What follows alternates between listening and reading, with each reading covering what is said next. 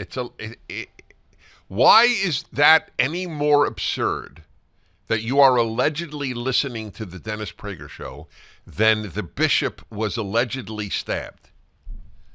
Or the attacker allegedly, the alleged attacker. Is that what it says? Alleged attacker? What is yeah, alleged an alleged attacker.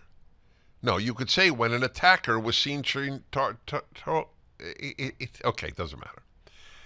All right, now here comes the punchline. This is why I am telling you the story to begin with. So, the police commissioner of New South Wales, the Australian state in which Sydney is located, said, We believe there are elements that are satisfied in. Ter- by, do you get the English? The, the twisted language humans are asked to speak. Did you ever say in your life, when you believed something to be true, there are elements that are satisfied? No. Ever use that term in your life? You understand the, the left has created a, a, a linguistic universe.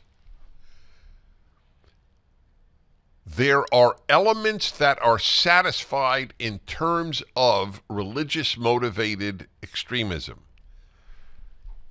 Mm-hmm. Now, she would not say, in other words, we believe this was religious motivated extremism, which is exactly what she means. Now, I got a question for all of you listening, allegedly or in fact. What religion do you think the attacker was? So let's speak of the major religions of the world. In Australia, it is it is now being charged with a religious hate crime against a Christian uh, against a Christian priest. It's not Catholic, Syrian Christian priest.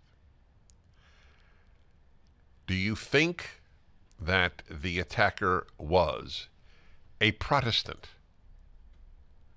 Christian? Do you think it was a Catholic Christian? Do you think it was a member of the LDS Church? You think a Mormon stabbed the bishop? If you had to bet your house, do you think it was a Muslim? Do you think it was a Hindu? Do you think it was a Buddhist? Every one of you listening, including Muslim listeners, thinks it was a Muslim. But there but here comes the BBC report to tell you something. Australian police define terror offences as being ideologically motivated. Investigations are still underway, but they say they are satisfied this is a case of religious extremism.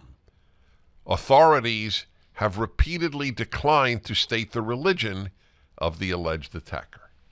So they are satisfied this is religious extremism, but they won't tell you the religion of the attacker because they're scared of the left and they're scared of segments of the Islamic community. They're not nobody is scared of Christians or Jews or Buddhists or Hindus or, Mormons or Catholics, Protestants. There's one religious group that is widely feared, and it's Muslims. And it is something for Muslims not to charge Islamophobia, but to charge the elements within the Islamic world with giving Islam a bad name. Instead, the official Muslim response, thanks to the left, is Islamophobia. Hmm.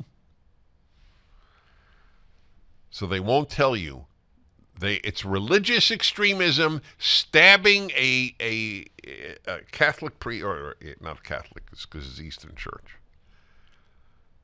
A a Christian priest, and we're not going to tell you the religion of the stabber. Mm-hmm. Okay, this is the world in which we live. For the full episode of the Dennis Prager Show, go to pragertopia.com, sign up, and become a full member.